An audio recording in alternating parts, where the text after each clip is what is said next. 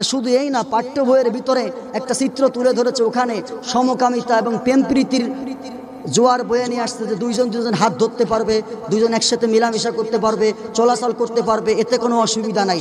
বইয়ের ভিতরে লেখা। বই তো নিয়ে আসছি, জোরে বলেন।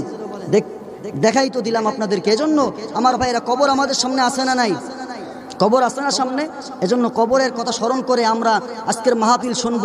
এই মজলিসে আমরা আসতে পেরেছি, এজন্য আমরা ধন্য হয়েছি, জোরে বলেন ঠিক কিনা?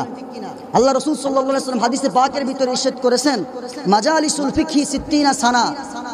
আল্লাহ রসুল সাল্লাহ সাল্লাম বলেছেন, যদি কেউ এই ময়দানে এসে অল্প কিছুক্ষণ সময় দিতে পারে, আপনি বোঝেন আর না বোঝেন, অল্প কিছুক্ষণ সময় দিলে আল্লাহ রসুলাম বলেছেন, আপনি নামাজ পড়লে কবুল হতেও পারে, নাও হতে পারে। রোজা হতেও পারে, নাও হতে পারে।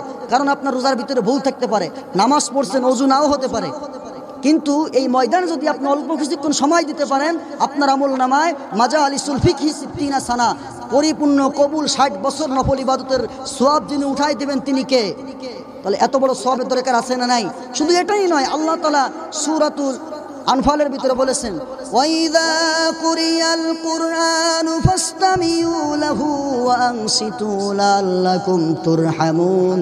আল্লাহ রাব্বুল বলেছেন, তোমাদের সামনে যখন কালামুল্লাহ শরীফ থেকে বয়ান করা হয়, ওয়াজ করা হয়, তখন তোমরা সেটাকে চুপ করে শ্রবণ করবে, শুনবে। আমরা যদি বলি, আল্লাহ, আমরা কেন শুনব? শুনলে আমাদের লাভ কি হবে? ফায়দা কি হবে? আল্লাহ রাব্বুল আলামিন পরবর্তীতে বলেন তুরহামুন। তোমরা যদি এই কোরআন এই কোরআন যদি তোমরা শুনতে পারো, তোমাদের উপরে আমি আল্লাহ বৃষ্টির মতো রহমত বর্ষণ করব। যারা বলেন সুবাহান আল্লাহ তাহলে আপনারা কবরের কথা স্মরণ করে, মৃত্যুর কথা স্মরণ করে আজকের এই মাহফিল শেষ পর্যন্ত শুনে যেতে রাজি আসুন তো ইনশাল্লাহ আল্লাহ তালা আমাদের সকলকে কবুল করে, সকলে বলি আমিন। এই জন্য কবরে যাওয়ার জন্য আমাদের সম্বল লাগবে কিনা ভাই? কবরে আমি আপনি যাব, আজকে যদি মরে যাই, কালকে আমাদেরকে সাদা কাপনের প্যাকেট করে চকলেটের মতো বানায়া মাথার কাছে একটা প্যাঁচ দিয়ে পায়ের কাছে একটা প্যাঁচ দিয়ে, মাঝখানে একটা প্যাঁচ দিয়ে পুরো একটা চকলেটের মতো বানায়া কবরের ভিতরে রেখে আসবে। একা একা, জোরে বলেন, ঠিক কিনা? আমার যত ক্ষমতাই থাকুক না কেন, যত বাহাদুরি থাকুক না কেন, টাকা থাকুক, বাড়ি থাকুক, ঘর থাকুক, কিছুই সাথে যাবে না।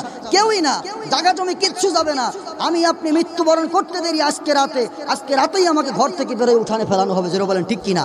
হাজার হাজার লক্ষ কোটি টাকা আলফাডাঙ্গা থাকুক না কেন পুরসভার ভিতরে, ওই টাকা এক টাকাও আমার সঙ্গে দেবে না। শুধুমাত্র সাড়ে তিন হাত কবরের ভিতরে, একা একা তাও বালিশ ছাড়া, জানালা ছাড়া বিল্ডিং ছাড়া সাদা কাফন দিয়ে, প্যাঁচ দিয়ে ভিতরে ফেলে আসবে যেন বলেন, তাও আপন জনেরা।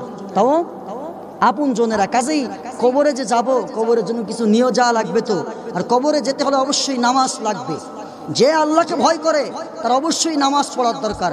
আপনারা সকলে নামাজ, পাঁচক্ত নামাজ হতে চান তো ইনশাল্লাহ পাঁচক্ত নামাজ যারা হতে চান, আল্লাহ তালা তাদের ভিতরে তার আসমানি মদত আসমানি রহমত, আসমানি বারাকা তাদের ভিতরে ঢেলে দেবেন। জোরে বলেন, আমিন।